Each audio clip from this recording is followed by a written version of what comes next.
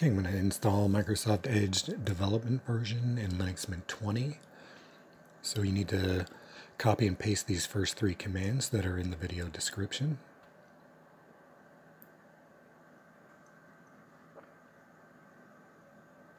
That's the second one.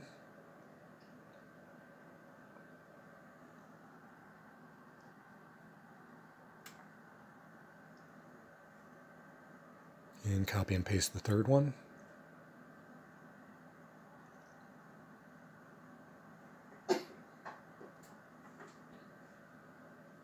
Okay, next type sudo rm microsoft.gpg. Next type sudo apt update.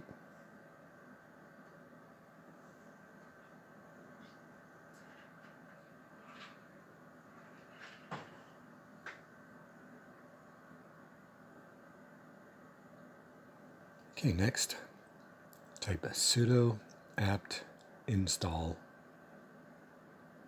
Microsoft dash edge dash dev.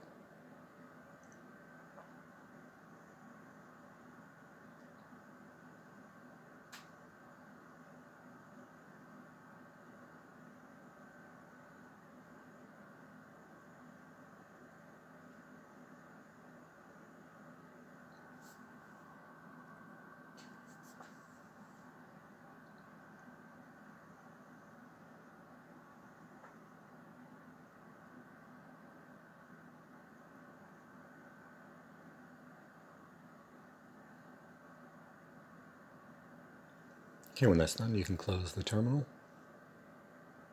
Go to your menu and search for Edge.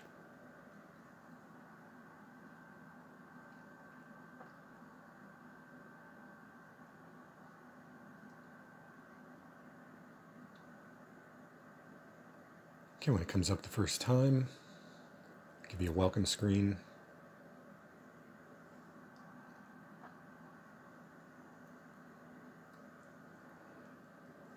Then you can uncheck that box and then click accept and get started. Click confirm.